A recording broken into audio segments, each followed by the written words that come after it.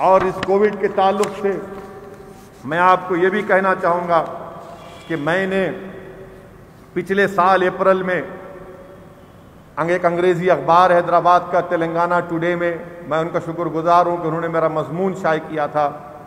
मैंने उस मजमून में ये लिखा, इस बात को लिखा और तजवीज़ पेश की, सजेशन दिया कि मोदी सरकार अक्सर लोग कहते कि आप खाली तनखीद करते यकीनन तनखीद करना मेरा बुनियाद यक है। और तनखीद सिर्फ़ महज तन, तनखीद के लिए नहीं कर रहा हुकूमत की गलतियों की निशानदेही कर रहे हैं। अब तजवीज़ ये है कि भारत के आइन में article 263 article 263 of the constitution के तहत एक इंटर स्टेट काउंसिल बनाई जा सकती है। मैं वज़ीर आज़म से इस बात का मुतालबा कर रहा हूँ कि एक इंटर स्टेट काउंसिल को फ़ौरन बनाया जाए।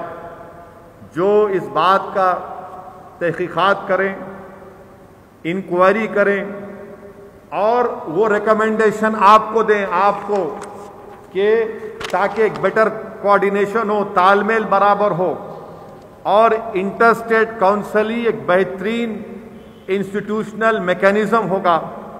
प्रधानमंत्री वज़ीर आज़म खुद चेयरमैन है, आप बनिए उसके, मर बनाइए बनाइए उसको। सिर्फ़ फ़ोन कॉल करके एक एक चीफ मिनिस्टर से कुछ होने वाला नहीं है।